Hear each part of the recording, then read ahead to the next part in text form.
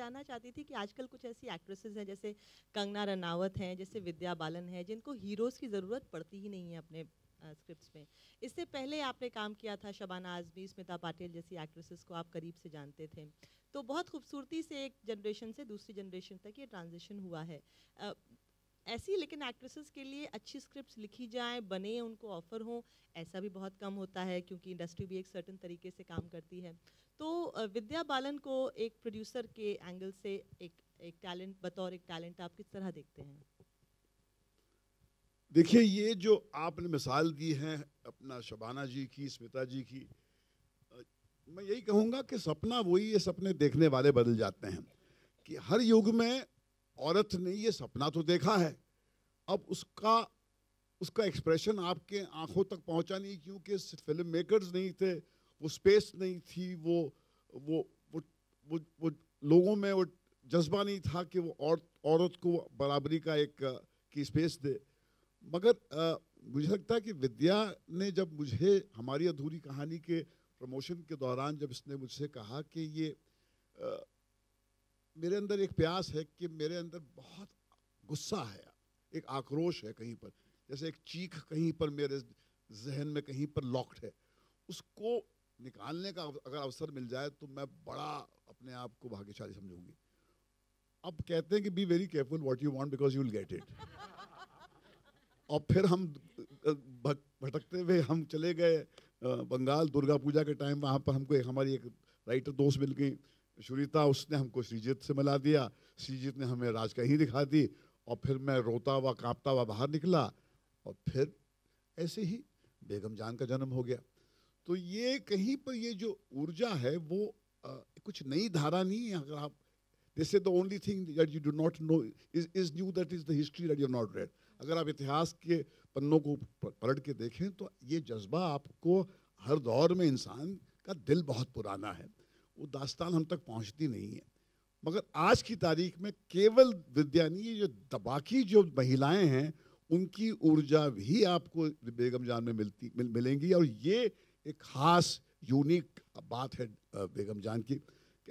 वो, इसका एहसास मुझे तभी हो गया था जब इनकी वर्कशॉप शुरू हो गई थी। जब मैं गया वहाँ पर तो ऐसे कि there nothing more powerful than a woman whose determent कहीं पर ये सारी औरतों में वो एक डिटर्मिनेशन था कि हम अपने जिस्म से, अपनी रूह से वो ऊर्जा को को एक्सप्रेशन देंगे जो हमारे अंदर लॉक्ड है, मगर हमको अवसर नहीं मिलता।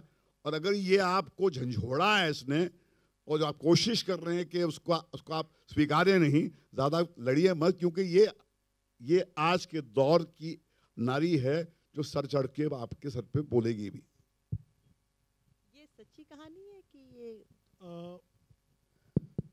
to a large extent to a large extent in the sense there were actually houses which were bisected by the very shortly drawn Radcliffe line which was done in exactly 4 weeks with zilch knowledge of topography और demographics very callously done. And that line went through rivers, mountains, towns, villages, and houses. So there were houses which were evicted, which were destroyed. People were displaced because the line went through the house. Obviously, it's a.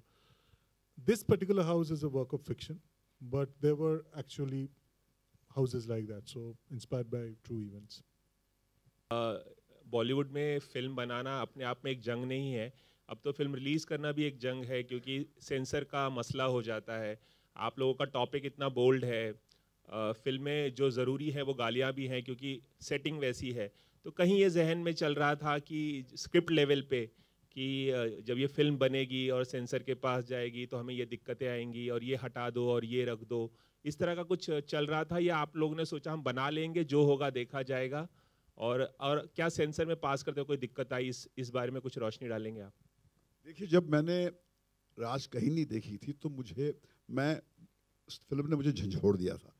और मुझे जब मैंने एक लेख लिखा था Calcutta times में कहा कि the moral compass of this nation is intact as long as there are film makers like Srijit ये एक वैशा घर की कहानी, मगर इसकी जो मॉरल और स्पिरिचुअल इंटीग्रिटी है, ये आपको चौंका देगी कि ये हमारे पास आज भी वो कलाकार हैं, वो टैलेंट है। जो आपको उस शिखर तक पहुंचाएँगे जहाँ तक आप पहुँचते नहीं हैं। जो मैंने बार बार कहा है कि बेगम जान के नज़र से जब आप ज़िंदगी का अनुभव करेंगे तो आपको आपके जहन के उस ऊंचाइयों तक ले जाएगी, जहाँ तक आप जाएँगे नहीं। मर्द नहीं जाएँगे, औरतें तो जाएँगी नहीं बेचारी। सहमी भी होती हैं। मगर वो आपको सब भावना नज़र आएगी। तो हमने जब ये फ़िल्म बनाने की सोची तो ये हम मुकेश और हमारा एक फितरतन झगड़ा रहा है अथॉरिटी से इस्टेब्लिशमेंट से। क्योंकि जब भी आप जेल की सलाखों को चौड़ा करने की कोशिश करते हैं तो आपको आफत झेलनी पड़ती है। तो हम तैयार थे। मगर हमारे साथ में एक अजूबा, एक अजीब इंसिडेंट हुई। क्योंकि जब ये ऑन द हील्स ऑफ़ उड़ता पंजाब हमारी सेंसर थी तो मुकेश ने कहा, भैया, देखो, पहले हम सेंसर कर लेते हैं, बाद में हम रिलीज़ रिलीज़ फिक्स करते हैं, क्योंकि नहीं तो फिर वो सर पे वो बंदूक होती है मार्केटिंग शुरू हो जाती है, फिर हमको कॉम्प्रोमाइज़ करना पड़ता है। और ये हमने ठान लिया था कि हम इसके साथ में छेड़खानी अलाउ नहीं करेंगे। और हम वहाँ पर नेहरू प्लानिटोरियम विशेष में श्रीजीत और गए वहाँ पर तो जब शो चल रहा था और लास्ट क्लाइमैक्स की रील अनफोल्ड हो रही थी और गाना बज रहा था तो मैंने श्रीजीत को देख के कहा, मैंने कहा कि अंदर लोग रो रहे हैं आपके सेंसर वाले। तो श्रीजीत ने देखा क्या जी ने क्या जी कि क्या मैं प्रोजेक्ट कर रहा हूँ क्योंकि कहीं पर आपको अंदाज़ा हो जाता है कि हॉल में जो आपकी फ़िल्म देखी जा रही है, आपके बच्चों को लोग जो देख रहे हैं करीब से उनके जहन में उसके बारे में ख्याल क्या है? और जब हम अंदर गए तो हमारे को एक ऐसा सेंसर बोर्ड मिला जो जिसमानी लेवल पे बिल्कुल सबमिसिव था। They were overwhelmed by the film वो उनका जो एक अंदाज पेश आने का था, वो मेरी पर्सनैलिटी या मेरे एक हिस्टोरिकल लॉकिंग हॉर्न्स के नैरेटिव की वजह से नहीं, क्योंकि फ़िल्म ने उन्हें इतना झंझोड़ा था। फ़िल्म ने उन्हें छुआ था और वो उनके पास, भैया, इंसान के बच्चे हैं ना, सेंसर का रोल बोर्ड का रोल प्ले करना मगर है तो इंसान ना। पूरे तो, खून ही निकलेगा अंदर से उनके। तो वो इतने इम्प्रेस थे मगर उन्होंने कहा कि एक आध हमारी मजबूरी है क्योंकि कोड हमें ये गालियाँ अलाउ नहीं करता तो उसको आप कृपा करके उसको आप ऑल्टरनेट ढूंढ लीजिए। तो श्रीजीत साहब ने पहले ही एंटिसिपेट किया था तो उन्होंने वो ऑलरेडी ऑप्शन ले लिया था। तो ये this was one of the most unusual encounters with the censor I don't have unhappy story at this time to develop the censors it was a happiest encounter with Begum Jaan with the most provocative the boldest film मगर इससे एक सीख मिली मुझे अगर film maker में conviction है अगर उसके अंदर इंटेग्रिटी है अगर उसके अंदर जज्बा है कि वो आखिर तक लड़ेगा वो बात आपके काम से कम्युनिकेट हो जाती है सामने वाले को। अगर आप दुकानदारी करेंगे तो वो दुकानदार को वो उसी तरह ट्रीट करेंगे जैसे दुकानदार डिजर्व करता है। तो ये मेरा बहुत ही पॉजिटिव एक्सपीरियंस था and I must say that I must thank them for showing this side which I was not very aware of uh, till Begum Jan happened to me. आपकी क्या फीलिंग्स थी किरदार निभाने निभाते वक्त और निभाने के बाद?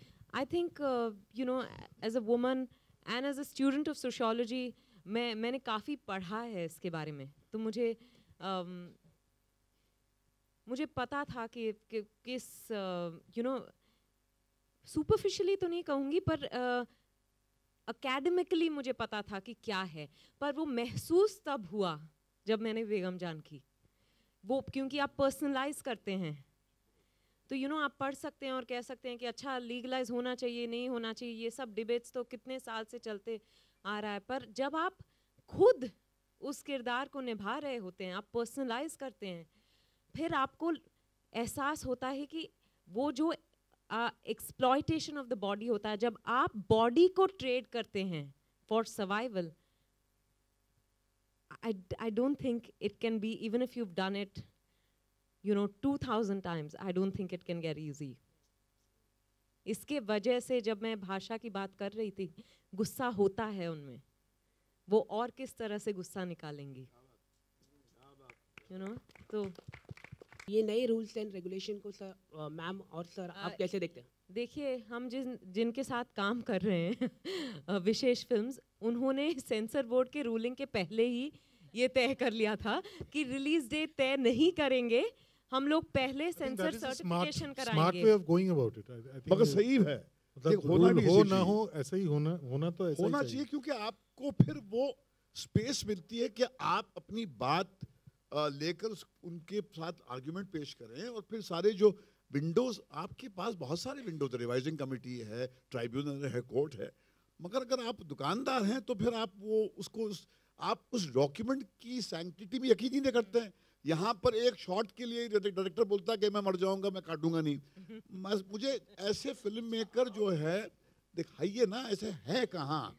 तो वो जब आपके अंदर इतना कन्विक्शन होता है तो वो कन्विक्शन जैसे विशेष जी कह रहे थे, वो वो नियत उसकी पाक नियत जो है, कहीं पर कम्युनिकेट होती है। और इसलिए ये सिस्टम अच्छा है कि आप पहले उसको सेंसर करा लीजिए, फिर सेंसर डेट के बाद में रिलीज़ फिक्स कीजिए। Thank you Uh, so much for your questions. Ju- just before, I just yes, want to add please, one thing. Um, I think I can speak for all of us on stage that, you know, we're very grateful to Vishesh Films for making a film like Begum Jan. You know, when I, I wouldn't have, yeah, I, I wouldn't have um, had the courage to do this film with anyone else. मुझे पता था कि अगर sensor के साथ झगड़ा करना पड़ा, तब मुकेश जी और भट्ट साहब लड़ जाएँगे वो इस तरह की फ़िल्म करने के बाद वो आश्वासन हो तो आप यू नो पूरी तरह से ईमानदारी से परफॉर्म कर सकते हैं नहीं तो अगर आपको पता पता हो कि यू नो कट सकता है और कोई कुछ नहीं करेगा तो फिर आपकी मेहनत कम हो जाती है। So thank you very much and thank you play entertainment for partnering on this और मुकेश जी अब तक कुछ नहीं बोले आप चुप अच्छे नहीं लगते। दो कुछ please you have to say two words जब मैंने पहली बार राज कहानी देखी तो उसी वक्त मुझे लग, अ, मैं अंदर से एक आवाज़ आई कि इसको बनाना चाहिए। और एक ही चेहरा मेरे सामने आया वो है विद्या का। क्योंकि ये फ़िल्म अगर बननी है तो विद्या बालक के सिवा और कोई नहीं तो ये फ़िल्म नहीं बन सकती। और बाकी जो विद्या ने कहा सेंसर के बारे में देखिए क्या है, फॉर फ़िल्म प्रोड्यूसर क्या होता है कि वो जब एक देखता है कि एक एक फ़िल्म इतनी ईमानदारी से बन रही है ना, वो ईमानदारी कम्युनिकेट हो जाती है फ़िल्म प्रोड्यूसर को भी। और वो जब उतरता है ऐसे प्रोजेक्ट में तो उसको फ्रॉम द फ़र्स्ट बॉल उसको पता है कि भाई ये बहुत पाक रास्ते पे चल रहे हो तो इसको स्टिग्मेटाइज नहीं करो, इसको, उसको खराब मत करो। और मैंने ठान लिया था फ्रॉम द फ़र्स्ट डे कि ये पिक्चर जैसे मैंने श्रीजीत को कह दिया था कि भाई इसको हम बनाएँगे, इसको सेंसर करेंगे। और सेंसर में मैं प्रिपेयर हो गया था कि ये एग्जामिनिंग कमेटी हो, या रिवाइजिंग हो, या ट्रिब्यूनल हो, या हाई कोर्ट हो, या सुप्रीम कोर्ट हो। मैं तैयार था। मैं मैंने सोच लिया था मैंने ठान लिया था कि मैं इस पिक्चर पे आँच बिल्कुल नहीं आने दूँगा क्योंकि जिस ईमानदारी से ये फ़िल्म बनी है सब लोग ने अपना खून दिया इस फ़िल्म में। मैं उसको तो ये ये जो ये फ़िल्में बन जाती है ये ये बना ही नहीं सकते। मैं अगर मैं खुद बनाना चाहूँ तो मुझे नहीं लगता है कि मेरे नसीब में हाफिज़ बेगम जान कब आएगी। ये बन जाती है फ़िल्में और देखिए, मैंने अभी सिर्फ़ सत्तर पिक्चर बनाई, ज़्यादा नहीं। और ऐसी ऐसे लफ्ज़ मेरे अंदर से निकलना आसान नहीं होता है। ये फ़िल्म, मैं, मुझे गर्व होता है कि मैंने ऐसी फ़िल्म बनाई। मुझे गर्व होता है कि इस फ़िल्म के इस हर एक कलाकार ने अपना जान, जी जान लगा दिया है। मुझे गर्व होता है कि मैंने श्रीजीत मुखर्जी को हिंदुस्तानी इंडस्ट्री में इस फ़िल्म से उसका एक डेब्यू करने का मौका दिया। मुझे गर्व है कि विशेष मेरा बेटा जिसके जिसके नाम से मैंने कंपनी शुरू की थी तीस साल पहले, आज पहली बार उसका नाम एक निर्माता के हैसियत से आता है। तो विशेष का जन्म एज ए निर्माता इस फ़िल्म से शुरू होता है। तो ये मेरे लिए बहुत महत्वपूर्ण फ़िल्म है। ऐतिहासिक फ़िल्म है, क्योंकि अभी विशेष फ़िल्म का जो दौड़ है नया दौड़, एक नई सोच, एक नई अंदाज से इस फ़िल्म इस कंपनी को आगे ले जाने के लिए विशेष होगा, श्रीजी जैसा मेकर होगा, और आगे ऐसे यंग युवक टैलेंट होंगे, जिसके लिए मैं और भट्ट साहब हमेशा होंगे to guide them as a guiding force